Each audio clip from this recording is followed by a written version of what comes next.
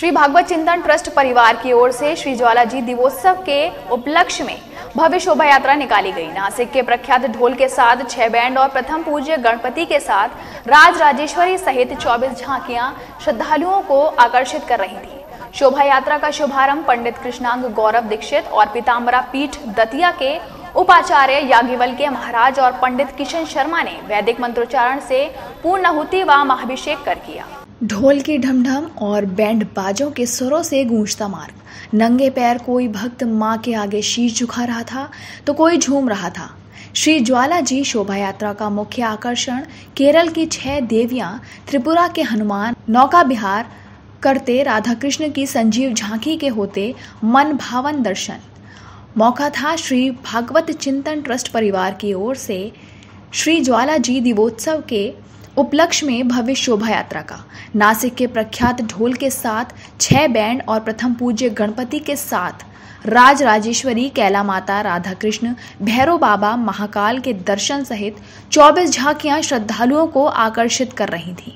शोभा यात्रा का शुभारंभ फुलट्टी चौराहा स्थित माँ भगवती मंदिर पर संस्थापक पंडित कृष्णांग गौरव दीक्षित और पिताम्बरा पीठ दतिया के उपाचार्य याज्ञवल्के महाराज और पंडित किशन शर्मा ने वैदिक मंत्रोच्चारण से पूर्णाहुति व महाभिषेक कर किया।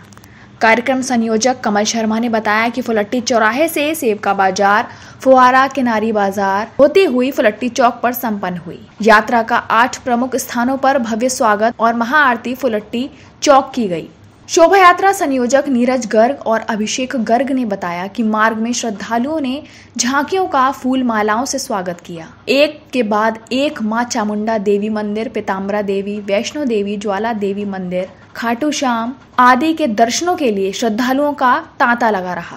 माँ भगवती का बहुत ज़ोर और उल्लास के साथ मोहल्ले क्षेत्र से भ्रमण प्रारंभ किया जा रहा है। यह दो दिवसीय कार्यक्रम है।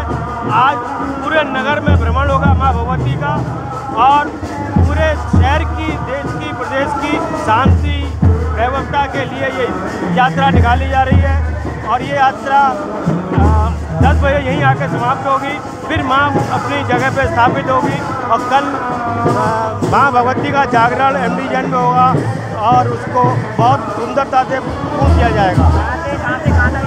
ये यात्रा प्रति चौराहे से प्रारंभ होगी और रावतवाड़ा किनारी बाज़ार दरेसी, हाथीघाट मेलंगंज पतवारी, घटिया होती हुई फिर यहीं यहाँ पे आज बड़े हर्ष का विषय है कि भागवत चिंतन ट्रस्ट द्वारा एक बहुत भव्य शोभा यात्रा ज्वाला जी की सेब के बाज़ार फुलट्टी से निकाली जा रही है जो कि आज विभिन्न मार्गों से होते हुए फुलट्टी पर ही समापन होगा। इसमें करीब आज सात आठ बैंड हैं और करीब बाईस झांकियाँ हैं।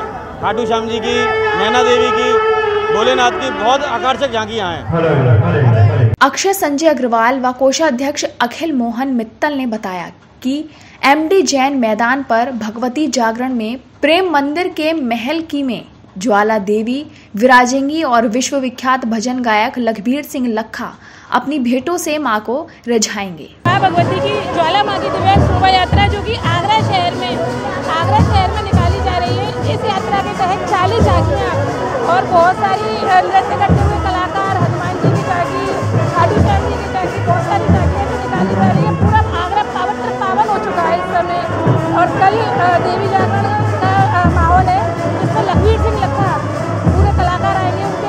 और लखवीर सिंह लखा रात का रात्रि जागरण करके आगरा को शिव में बनाएँगे। ये माँ भगवती का जागरण बहुत ही विशाल है।